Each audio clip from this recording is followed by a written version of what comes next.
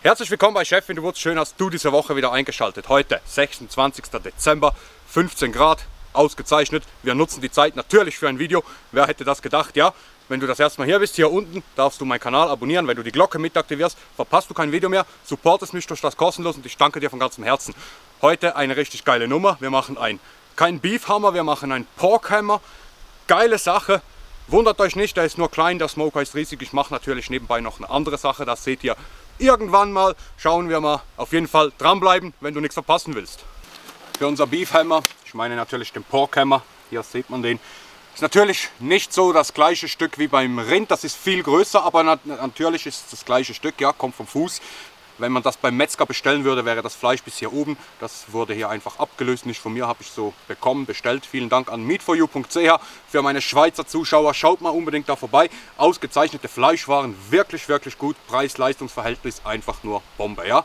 So, Werbung Ende. In dem Sinne haben wir einfach nur den äh, Porkhammer dann haben wir hier von Barbecue aus Rheinhessen den Bacon Goodness. Passt natürlich perfekt. Schweinefleisch, Bacon, ja. Natürlich halte mir das am Knochen oben fest. Und dann rubbe ich das einfach schön von allen Seiten natürlich ein. Drücke es auch ein bisschen an. Wir machen das heute im Smoker, das ist nicht gerade unbedingt klassisch. Normalerweise würde ich jetzt sagen, würde man das eher als Dutch Ofengericht verwenden, vor allem bei Schweinefleisch. Bei Rind sieht das natürlich wieder anders aus, aber wieso nicht eigentlich, ja? Passt bestimmt gut. Das war es auch schon. Wir lassen das etwa 5 bis 10 Minuten ein bisschen anschwitzen, anziehen und geben es dann bei 120 Grad für mal zwei Stunden in den Smoker. Danach schauen wir mal, was wir machen. Vielleicht dämpfen wir das, vielleicht auch nicht. Muss ich wirklich noch gucken, ja? Für Tipps, natürlich, steht es euch offen in die Kommentare zu ballern ballert da rein, was würdet ihr anders machen? Würdet ihr das auch so machen, Dutch Oven oder Smoker? Oder man könnte auch natürlich hier oben Loch reinbohren, das Ganze über die Glut hängen und so grillieren wäre natürlich auch eine Variante. Was bist du? Ja, ist unser Rub schön eingezogen. Wunderbar. Geben wir das gute Stück in den Smoker rein. Äh, ich würde sagen bei 120 Grad, wie gesagt, für zwei Stunden. Dann gucken wir mal nach, wie das Ganze aussieht. Und bis dahin wünsche ich euch eine angenehme Wartezeit. Ja, Freunde, wir sind soweit. Zwei Stunden war das Ganze im Rauch. Ist jetzt ein bisschen windig geworden. Ich habe das Wetter vorhin zu fest gelobt. Ich hoffe, man hört mich gut. Sieht hervorragend aus. Ich habe mir hier etwas Butcher Paper bereitgelegt. Dann habe ich hier ein Stück Butter. Äh, das sind an die, ich sage mal 80 Gramm ungefähr. Äh, dann machen wir das Ganze zu.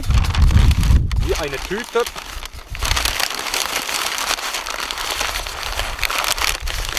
Dass wir das hier oben so eindrehen können.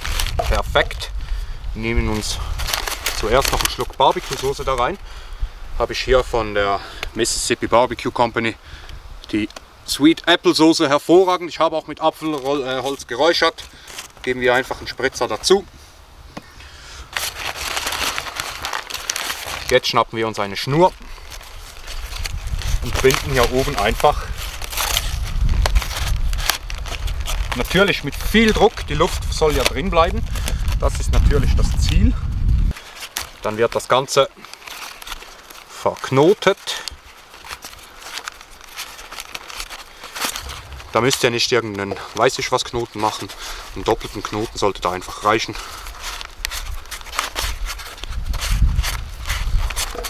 Wunderbar. Zurück auf den Smoker, in den Smoker für die nächsten zwei Stunden. Ja, es hat angefangen zu regnen, es windet scheiße, aber egal, wir müssen jetzt durchziehen. Wir sind soweit, zwei Stunden sind vergangen. Wir machen das hier auf. Ich habe das zur Sicherheit zweimal eingepackt, weil wir wollen ja wirklich schauen, dass da alles drin bleibt, Dampf, wenn es dann geht. Wunderbar, wow, heiß. Sieht ganz, ganz schön aus. So habe ich mir das vorgestellt. Das hat sich auch schon wirklich schön vom Knochen gelöst. Wir geben das jetzt noch für eine Stunde wieder zurück in den Smoker. Ich glaube, wir glazen es nicht, aber wir machen hier eine schöne Kruste darüber. Heißt, wir müssen etwas höher mit der Temperatur. Ich gehe da auf 160 Grad für den Anfang und dann schauen wir mal. Ja, wir sind soweit.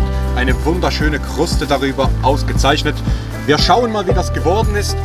Ich befürchte fast, dass das nicht so geworden ist, wie ich mir das vorgestellt habe. Ja, zwar doch, löst sich relativ schön vom Knochen. Wunderbar. Ich denke mal, kann man akzeptieren. Sehr gut. Vegifuchs wird sich bedanken, ja? Wir schneiden hier mal rein, gucken uns das an. Wunderschöner Rauchring. Sehr schön. Und dann heißt es einfach mal hier, probieren wir das Stück. Guten Appetit.